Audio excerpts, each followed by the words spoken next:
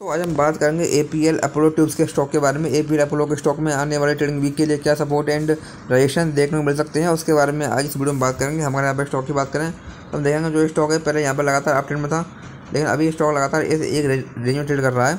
हमको यहाँ पर स्टॉक में कहीं ना कहीं एक पोल एंड फ्लैग पैटर्न बनता हुआ दिखाई देगा।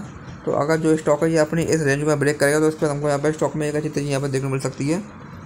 अगर जो स्टॉक है अगर stock one three eight four का जो लेवल है, इसको यहाँ ब्रेक करेगा तो फिर इसके बाद हमको यहाँ पे स्टॉक में एक अच्छा मूवमेंट यहाँ पर देखने मिल सकता है। अगर स्टॉक इसको यहाँ ब्रेक करेगा तो इसके बाद हमको स्टॉक में फोर्टीन हंड्रेड फिफ्टी इसके बाद हमको स्टॉक में फिफ्टीन हंड्रेड और अगर स्टॉक इसको ब्रेक करेगा तो इसके बाद हमको स्टॉक में सिक्सटीन हंड्रेड और इसके बाद ऊपर हमको सेवनटीन हंड्रेड तक के लेवल्स यहाँ पर देखने मिल सकते हैं। ऐसा नहीं, यहाँ पर नेक्स्ट यहाँ पर रजिस्टेंस भाई, यहाँ से अगर स्टॉक में गिरावट आती है तो गिरावट की कंडीशन में हमारे पास यहाँ पर स्टॉक में वन थ्री जो सिक्स इसका जो लेवल है, ये सब सपोर्ट काम करेगा। अगर स्टॉक इसको यहाँ ब्रेक करेगा तो इसका हमको स्टॉक में वन थ्री नाइन पर इसके बाद यहाँ पर स्टॉक में वन टू फाइव ज़ीरो तक के लेवल्स जो हैं, वो यहाँ पर देखने को मिल जाएँगे ऐसा नेक्स्ट सपोर्ट तो ये स्टॉक में कुछ important support and resistance level हैं, आप इन पर ध्यान दे सकते हैं। बाकी वीडियो में कोई बाय सेल होल्डिंग नहीं है। वीडियो केवल एजुकेशन पर्पज़ के लिए धन्यवाद।